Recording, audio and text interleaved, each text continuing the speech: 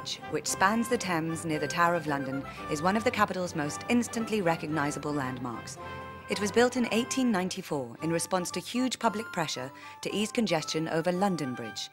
Although there were several bridges to the west of London Bridge by the mid 19th century, there were none to the east, and by the 1880s, it was taking carriages literally hours to cross London Bridge. Plans for the bridge were controversial. It was feared that the bridge would staunch the flow of river traffic to Pool of London, the area of river further downstream from London Bridge. This was the commercial hub of the British Empire, and so it was essential that a drawbridge of sorts would be designed. In 1876, a competition was held to see who could design the new crossing. It was won by Horace Jones and John Wolfe Barry, son of Charles Barry, who designed the Houses of Parliament.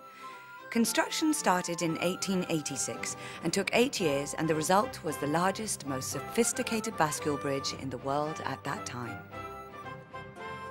Bascule means seesaw in French. A bascule bridge is a drawbridge with a counterweight. Tower Bridge has two bascules weighing 1,000 tons each, which were raised using a hydraulic lifting mechanism powered by enormous steam engines. The steam engines were in operation until 1976, when the system was electrified. When the Port of London was at its busiest, the bridge would be lifted several times a day.